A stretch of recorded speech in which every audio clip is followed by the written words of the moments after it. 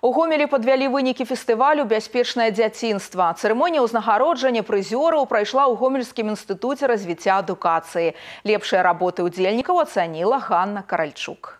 Сёлета да ўдзелу ў фестывалі бяспечнае дзяцінства падключыліся практычна ўсе дашкольныя установы адукацыі. Таму ў абласным туры можна было ўбачыць прадстаўнікоў кожнага раёна. Мерапрыемства, арганізаванае міністэрствам адукацыі і МНС, праходзіць у шосты раз. За гэты час узровень прадстаўленых работ значна ўзрос. Над імі старанна працуюць не толькі педагогі, але і дзеці разам з бацькамі. Самая главная цель при проведении данного фестиваля является обучение и подготовка наших воспитанников к более самостоятельной жизни. Есть ряд примеров, когда э, ребята и дошкольного э, возраста и по мобильному телефону осуществляли звонки в систему МВД, МЧС, и это отражалось в средствах массовой информации, мы об этом знаем.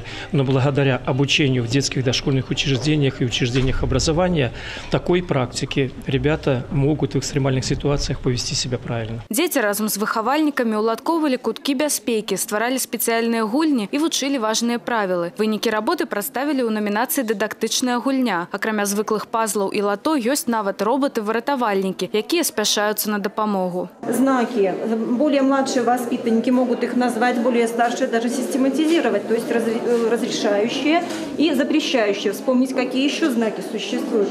Пожалуйста, вспомнить можно алгоритм э, вызова э, экстренных служб. У нас вот такая цветовая гамма, и у него и сразу идет ассоциация. Что это? Это светофор. Установы дашкольнай адукацыі таксама прадставілі тэматычныя выступленні выхаванцаў і відэаролікі з удзелам бацькоў. Ганарымся, што навучылі. Абсалютным пераможцам абласнога этапу стаў яслі сад нумар 5 горада Светлагорска. Установа прадставіла работы ва ўсіх чатырох намінацыях і паказала назапашаны за 10 гадоў вопыт навучання дзяцей правілам бяспекі. Вы все знаете игру «Домино». Она очень интересна, но эта игра представлена в новой обложке, скажем так.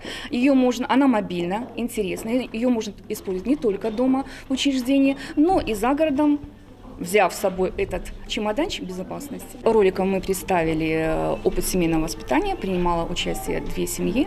Я считаю, что эти семьи, семьи показали опыт тот, который у них накоплен, и этот опыт можно использовать другим законным представителям наших воспитанников. Свае ўзнагароды атрымалі прызёры асобных намінацый. Пераможцы прадставяць нашу вобласць на рэспубліканскім фестывалі ў мінску. Ганна Каральчук, Андрей Іваноў, тэлерадыёкампанія Гомель.